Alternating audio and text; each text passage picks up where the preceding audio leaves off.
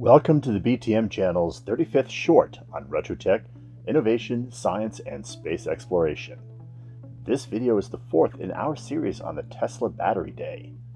Milestones 21 published the entire Tesla presentation on the new 4680 battery and associated improved manufacturing processes.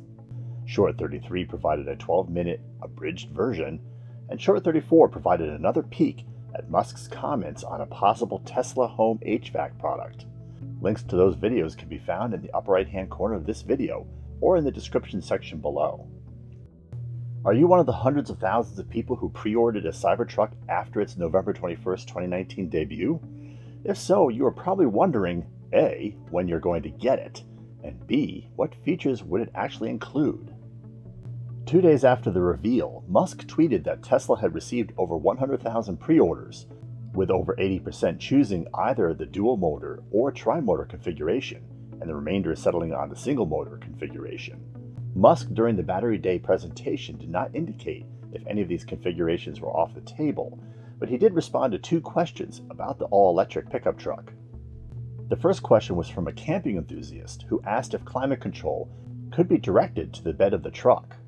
One of the renderings shown by Tesla right after the reveal was that of a Cybertruck with a tent mounted to the bed in a style similar to that of the Pontiac Aztek. Pontiac stopped making the Aztek in 2005, and the Pontiac brand went defunct in 2010. So if you don't know what we are talking about, check out the Aztek in camping configuration through a web search. You'll be amazed. In any rate, Musk's answer to the climate control question was as follows Hey guys, Eli here uh, from Tesla Owners Club, My Tesla Adventure.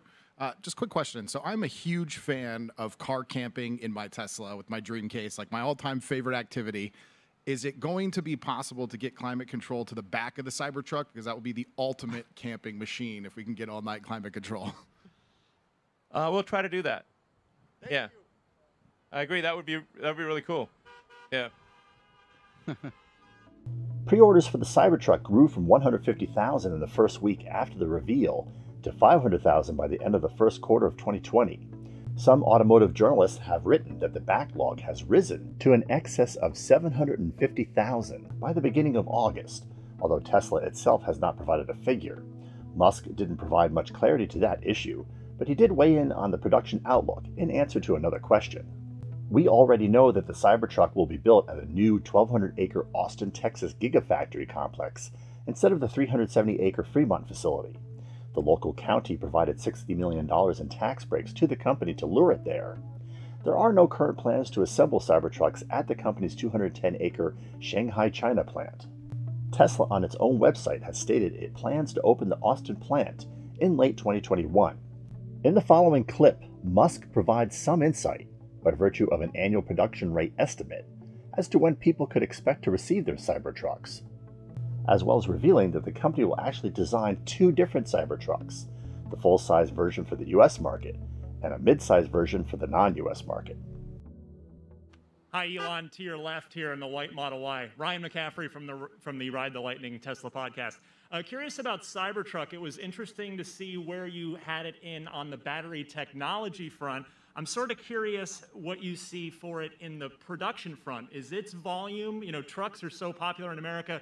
Do you see its volume equaling the three or the Y in the future? Um, well, it's hard to say what the volume exactly would be for the Cybertruck. The the orders are gigantic, so and we have like I don't know, well over half a million orders. I think maybe six or six hundred thousand. That's a lot, basically. We start counting. Um, so I, I think there's probably room for, I don't know, at least like a unit volume of like 250 to 300,000 a year, maybe more. Um, so uh, now we are designing the Cybertruck to meet the American spec because if you try to design a, a, car to meet the global, the, the superset of all global re requirements, it basically you can't make the Cybertruck. It's impossible. Um, so uh, it, it really is designed for the American market, but this is the biggest market. Our North American market is the biggest market for pickup trucks by far, or large pickup trucks. And then I think for, uh, in, we'll probably make an international version of, of the Cybertruck that'll be kind of smaller, you know, kind of like a tight Wolverine package. Um, It'll still be cooler, but it'll be it'll be smaller because you just can't make a giant truck like that for most markets. Um,